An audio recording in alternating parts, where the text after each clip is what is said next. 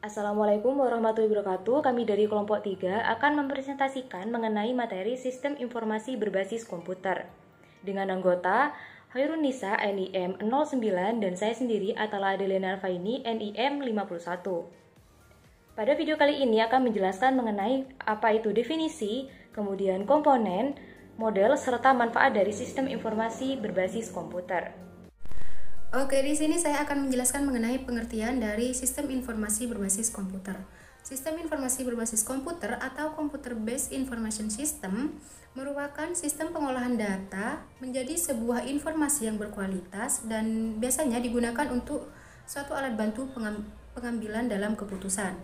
Nah, sistem informasi berbasis komputer juga mengandung arti bahwa komputer memainkan peranan yang penting dalam sebuah sistem informasi.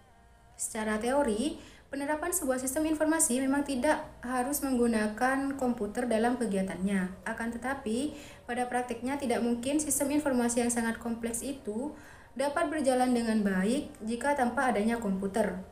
Sistem informasi yang akurat dan efektif biasanya dalam ke kenyataannya selalu berhubungan dengan istilah computer based atau pengolahan informasi yang berbasis pada komputer.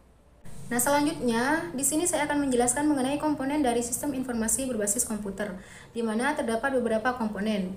Yang pertama itu ada hardware yang terdiri dari komputer, scanner, printer, dan jaringan. Dan yang kedua ada software yang merupakan kumpulan dari beberapa fungsi ataupun perintah yang ditulis dengan aturan-aturan tertentu untuk memerintahkan komputer dalam melakukan tugas-tugas tertentu. Nah, software sendiri dapat digolongkan menjadi sistem informasi, aplikasi, dan bahasa pemrograman.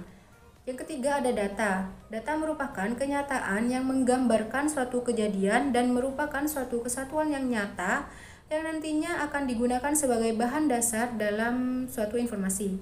Yang keempat ada prosedur yang merupakan strategi, kebijakan, metode, dan aturan untuk menggunakan sistem informasi berbasis komputer.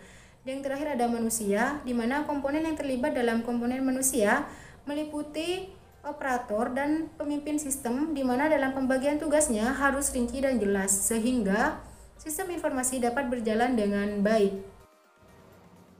Berdasarkan slide PPT yang telah ditampilkan, diketahui bahwa sistem informasi berbasis komputer berevolusi menjadi beberapa model yang terdiri dari pertama adalah fokus awal data atau bagaimana mendapatkan data di mana sistem informasi akuntansi atau SIA ini disebut juga dengan pengolahan data elektronik.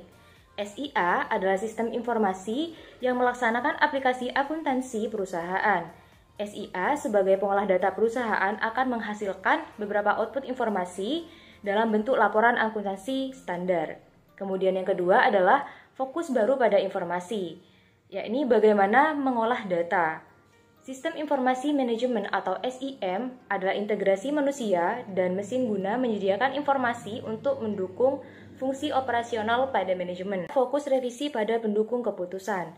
Sistem penunjang keputusan atau SPK merupakan suatu sistem komputer yang interaktif dan membantu membuat keputusan dalam menggunakan dan memanfaatkan data maupun model untuk memecahkan masalah yang tidak terstruktur. Fokus kini pada komunikasi. Otomatisasi perkantoran adalah sebuah sistem elektronik formal dan informal terutama yang berkaitan dengan komunikasi informasi di dalam perusahaan maupun di luar perusahaan. Misalnya, aplikasi email, voicemail, video conferencing, dan lain-lain. Dan yang terakhir adalah fokus potensial pada konsultasi.